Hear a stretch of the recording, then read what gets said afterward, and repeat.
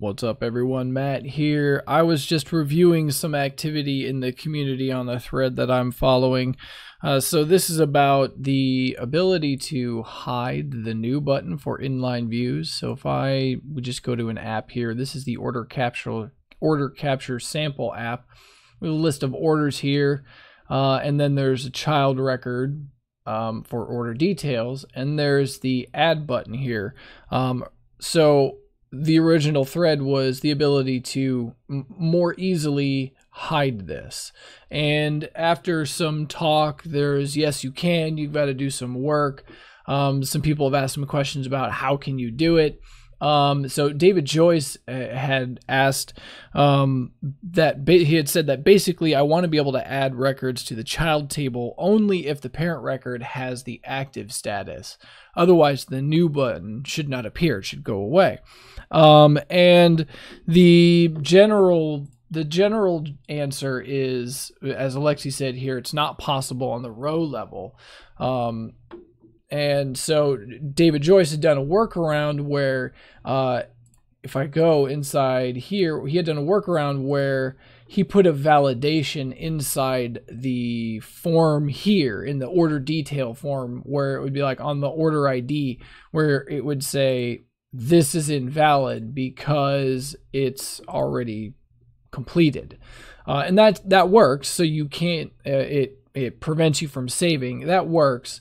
Uh, but I'm more of the mind I want to prevent people from getting to that form in the first place. So there is a way to do this, um, but it requires a few steps, and so I'm going to go through go through those here really quick, hopefully really quick.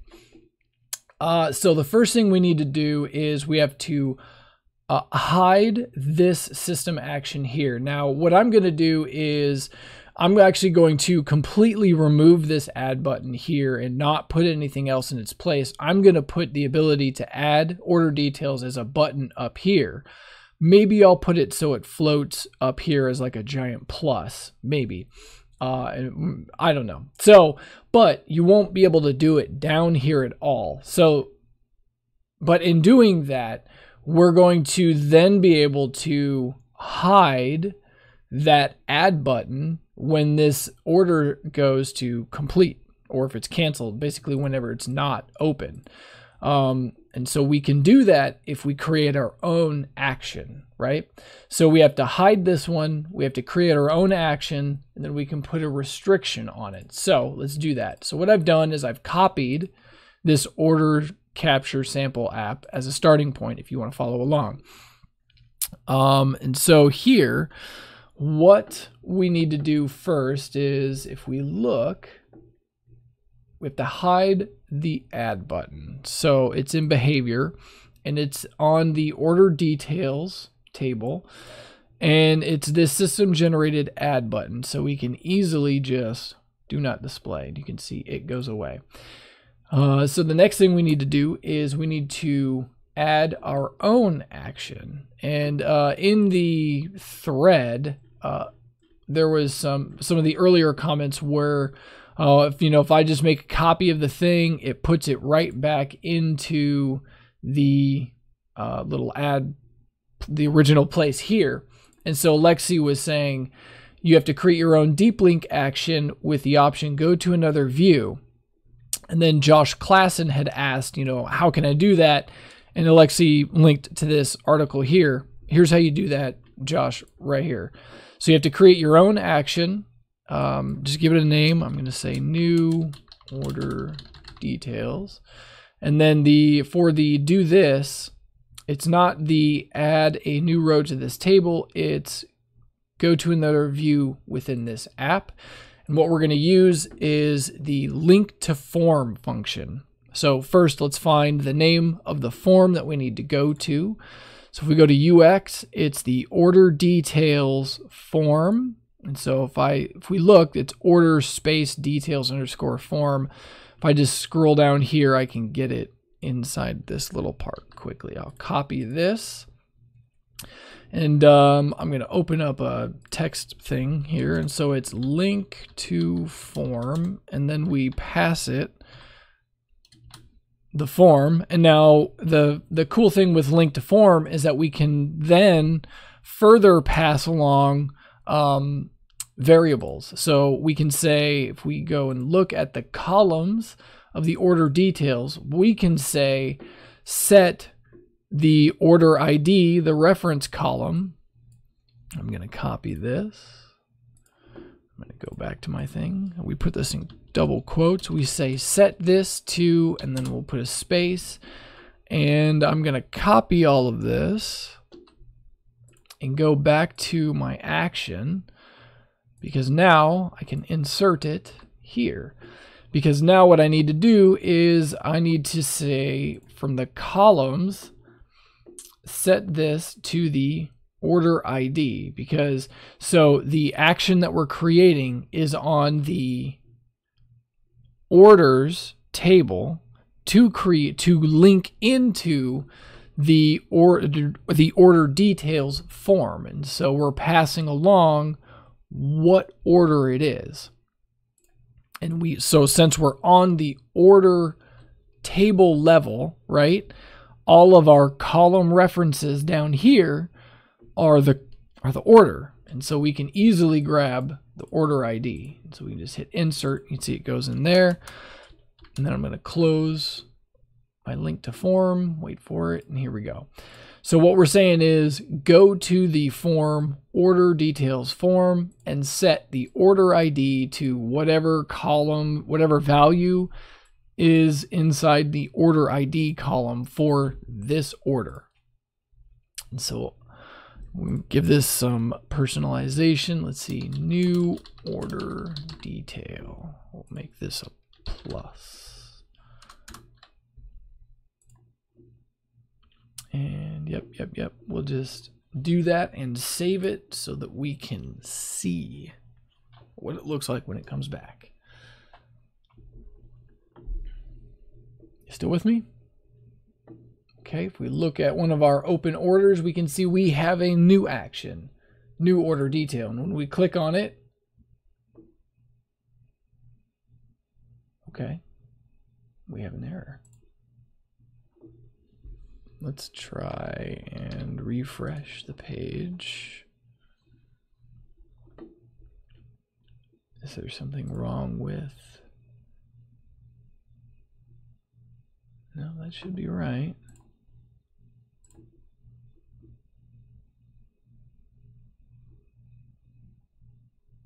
Oh, my bad. I forgot a comma. It doesn't know what to do. This is where splitting things up on on different levels kind of kind of bit me in the butt. My bad. Don't forget your commas. Proof just one stupid little thing off. it just kind of messes everything up. All right, now if we try it, there we go. We see it works. It jumps, it dumps it right into the appropriate order, and then we can fill out the product ID, the quantity, and it will calculate the total. Um, I'm going to pause really quick. I'm going to do some housekeeping. This order details ID, I'm going to hide this. Uh, this is the, it's the key um, now, obviously, we need to be able to see this order ID later, but when you're creating the um, order details, we don't need to see the order detail ID. We don't, not at the moment. Uh, so I'm going to go in here and set this to false. That will hide this. And then since we're automatically setting this and I don't want people to be able to come in here and change what this order ID reference is for, I'm I'm going to do the same thing. We're going to come in here and we're going to set this to false. So what this is going to do, uh, if I check one of the options, is apply show ifs constantly. I like to turn that off because that gives me a little more fine control over when things are visible. By doing what I've just done, um, the those fields won't be visible in the form, as I'll show you here. They're not visible here. Um, so if we just look, okay, so there's four things. I'm going to create a new thing. We're going to add five, 50,000 apples. And so now if we look, uh, it's probably this one. Yeah, 50,000 apples. Um, we can you can see the order detail ID is here. The order ID is visible here, but when you're inside the form, they're not because we don't need to see those. They're just kind of getting in the way. And to be honest, if you give people the ability to modify the order ID, it can cause dis disassociation problems. People mm, accidentally change that. They don't realize that they did that and they save it. And so then somebody else's order automatically has this new thing on it.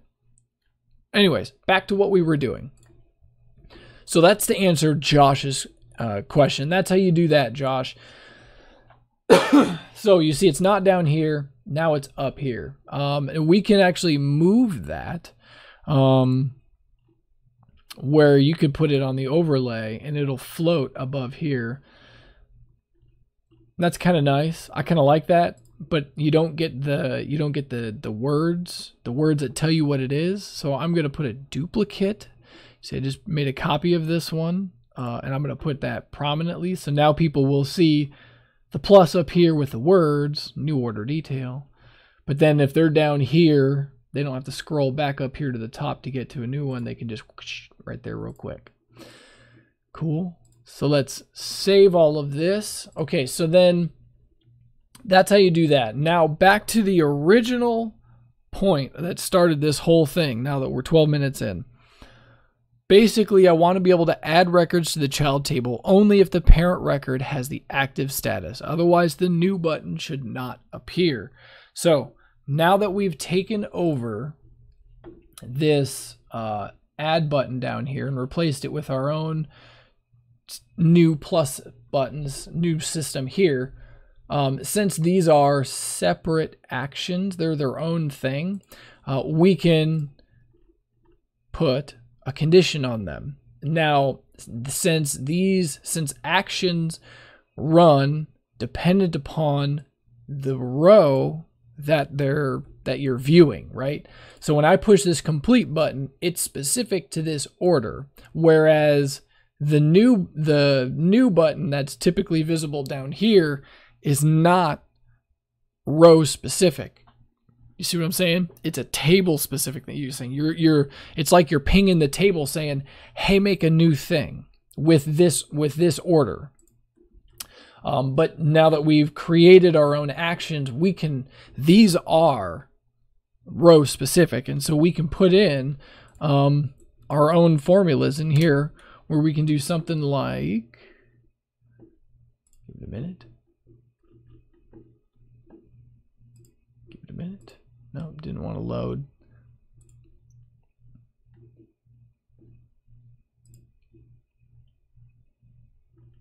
Okay, come on, guys. Where's all this stuff down here? Where the order status. I can just grab it from here. Let's see. All right, we'll just do this the right way. Where the order, order status. Okay, I'm going to go back to my text thing. Um, where my order status equals, let's see what the options are for here. Open, complete, canceled. So we only want them to do it when it's open.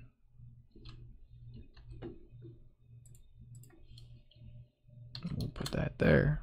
I'm going to copy that. And then we'll go back to that action. And we'll put it down here. Oh, here they are. Here they are. Now they now they showed up. So when the order status equals open, and then I'm going to leave. So, so now since we have two, since I have the floaty one and just the regular one, so the regular one is the one that I've put this condition upon. So when it comes back, and I let's see, there should be a, there should be a way to view completed or canceled. So if we find here, all right, so if we go to here, open, we can see this is here, the floaty one's there. If I complete it, okay, the floaty one disappeared along with the other actions as well. But you can see the, the one that I haven't modified yet is still floating, floating there. Um, so if we go to our, this guy, and we'll put our formula, our formula there, status equals open. That is how you can do what you were wanting to do here, David Joyce, where you can where you can um spec- oh I just got an email confirmation from this app about my order confirm my order being completed. Oh, that's funny.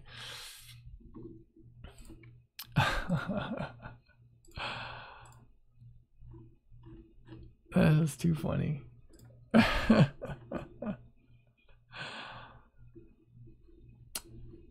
So, now, when this comes back, uh, everything should be done now. Now we have the ability to only create order details when something is open. When I go and I look at, where was that, Carol Klein? Yep, when I look at a completed one, I don't have any of those options. So, there you go, David, Josh. Hope I answered your questions. Sorry, this got a little long. Kind of get away from me sometimes, but um, that's what table of contents and links are for. Thanks for watching, everybody. Hope you enjoyed.